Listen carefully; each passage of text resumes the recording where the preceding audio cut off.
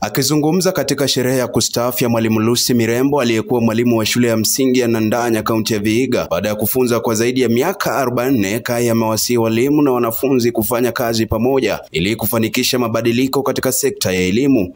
We are not happy with the people who want first time governor.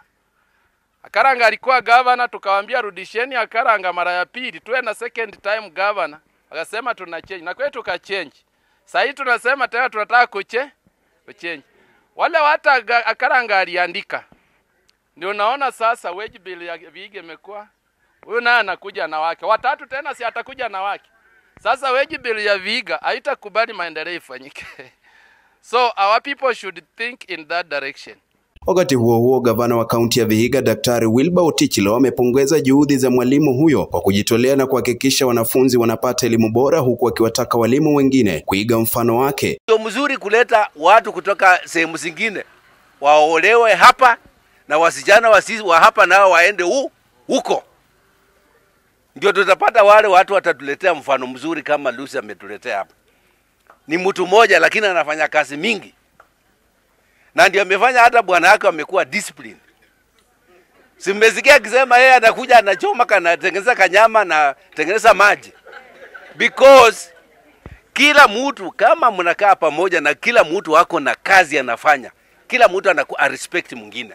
Usemi huo umeungwa mkono na naibu mwenyekiti wa chama cha KNUT tawi la Vihiga John Mutange, ambaye pia ameitaka wizara ya elimu kushughulikia matakwa ya walimu dhidi ya kuwapa motisha na kuwafunza kwa bidii. Task force members watapanga nafasi kuenda kila mahali kuweza kuhamasisha wananchi ili wajue umaana wa hiyo mfumo mpya wa elimu, kwa sababu wengi wamekuwa wakisema, mkisema parental engagement, kwani ni bibuli baziza za eh, bibuli bala batebangi, kwani kunyi kosoma ano ni watoto wanatakana wasome. Ningependa kusema hakuna mahali mwana, mzazi atapelekwa wapi darasani kufunzwa.